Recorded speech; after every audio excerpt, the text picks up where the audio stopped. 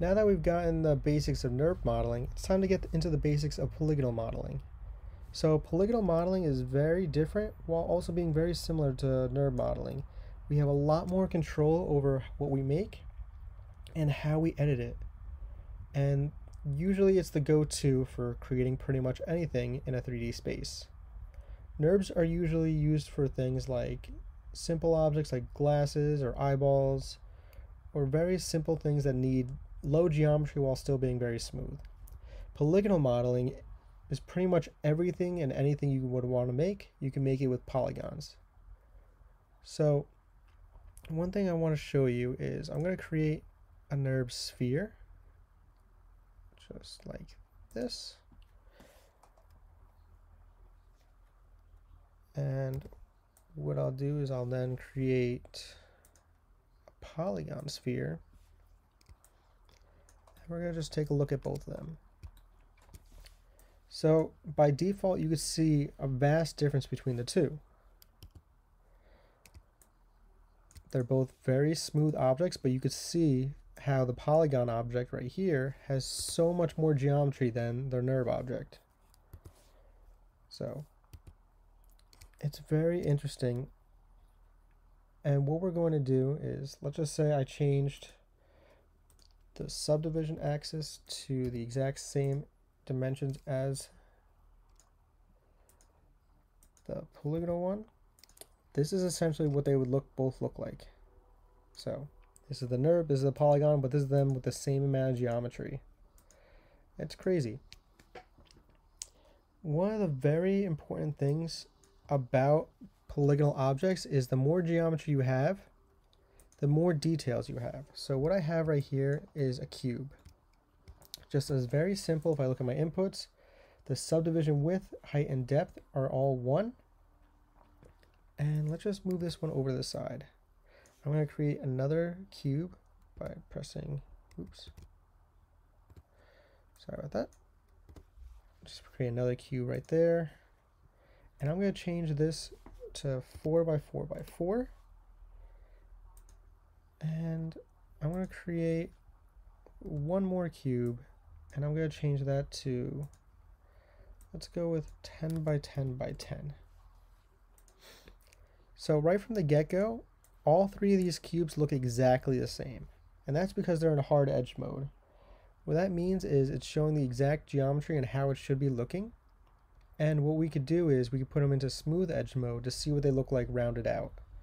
So if you look at your keyboard and you hit 1, that is hard edge mode. And what we'll do is I'm going to switch them to smooth edge mode by hitting 3 on my keyboard. What that does is it will round out all the edges and smooth them into what they would look like rendered out. So I'm going to hit 3. And now you can see that they're very different. So my one by one by one cube came out becoming this somewhat uh, spherical object, while our four by four by four, correct, yeah, is much more of a cube shape, but you can see those rounded edges. And if we look at our 10 by 10 by 10 one, same deal. It is that cube shape, but it also has those rounded edges, but you see that they're more defined. If I ended up changing this to, let's just say, a 30 by 30 by 30, or let's just say 20 by 20 by 20 it gets even more and more defined. So the more geometry you have the more detailed it will be smoothed out. So let's just get rid of all these. And let's get to creating something. So I'm just going to create a cube. And we're going to go over pretty much all of the general tools or the basic tools you'll need in creating any model. So I'm going to start. And what we're going to do is we're going to build a very basic house. So the first thing I'm going to do is I'm going to select my object. I'm going to go to Mesh Tools, and I'm going to go to what's called the Insert Edge Loop tool. So the Insert Edge Loop tool is basically an, uh, a, a tool where you click on any of these edges, and if I drag around, you'll see this dotted line going around in a 3D space. And what it will do is it'll take those faces that we have and split them. So before we even do that, let's actually go into the basics of our object. So if you remember working with NURBs we had things like control vertices and hulls and object mode. If I right click, I have a couple more things that we can work with. So we have object mode, which works the exact same way as we did before with the, the NURBS. We have edge mode, which will allow us to select specific edges and modify them as we please. We have vertex, which works very similar to the control vertex. We also now have face, and that will allow us to select specific polygons and modify the face. Other than that, we have vertex, face, multi, and UV, which we're not going to really use that much. But understanding and knowing how each one of those works is extremely useful in understanding how to model something because we're going to be using all those pretty frequently. So getting back to creating our house, what I'm going to do is first I'm just going to raise this up just to get it on top of the grid. Makes it a little easier to see things. Let's just center. So first thing I'm going to do is I'm going to go to Mesh Tools and insert Edge Loop like we did before. And I'm going to put an edge loop right about, let's just say halfway along the horizontal uh, face. So I'm going to be selecting a vertical edge because it's going to create a perpendicular line across. So just go about halfway there. If it's not perfect, that's okay. And I'm going to hit Q to end the command.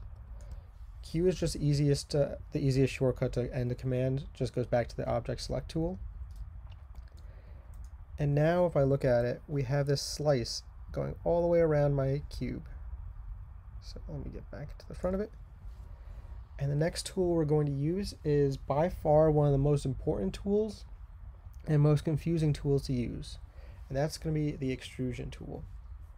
So what that extrusion tool does is, for instance, this face right here, I'm going to use this and we're going to create a door.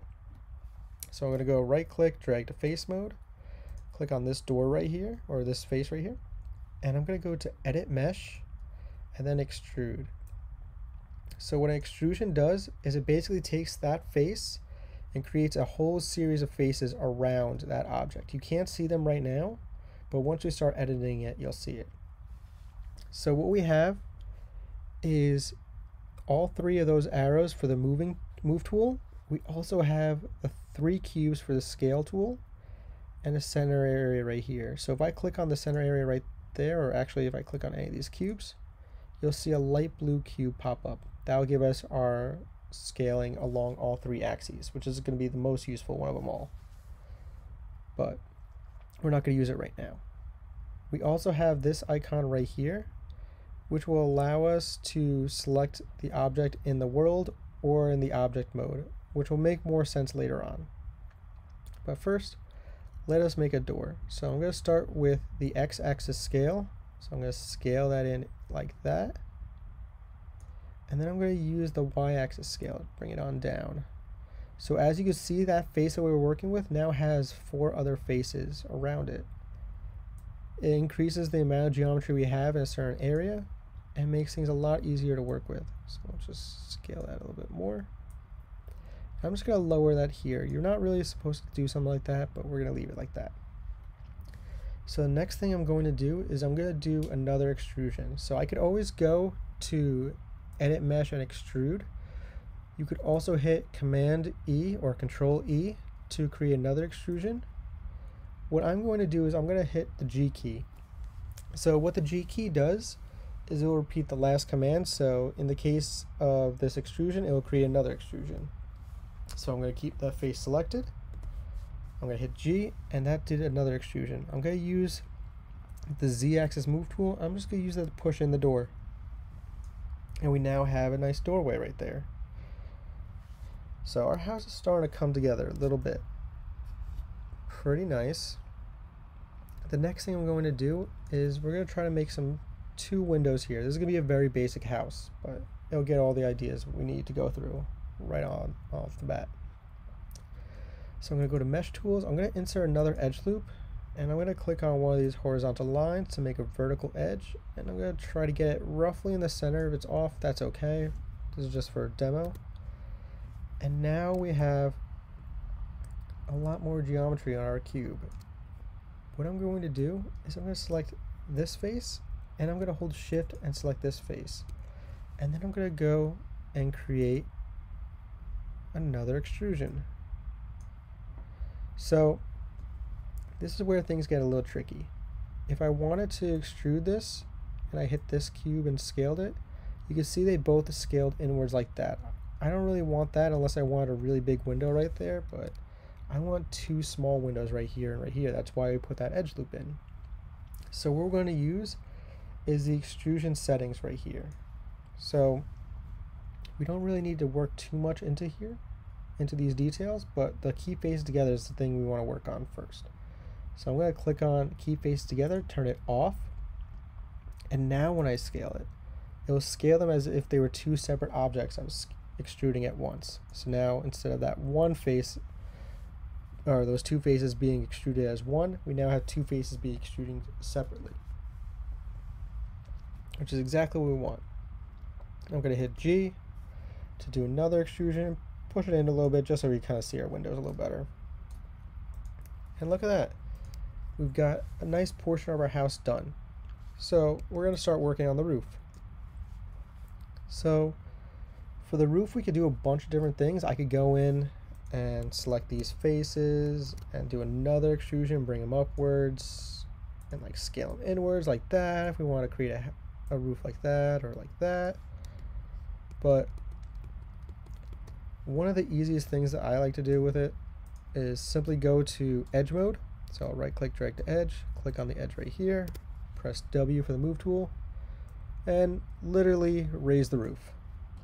Pretty simple, gets everything done, but it's always up to you what you want to do for your design. So that's pretty much the basics on how to create the house itself. Right now we're going to do uh, a nice little chimney. And we could do the chimney a couple different ways, but I'm going to show you a specific way just because it will get those tools set up for you.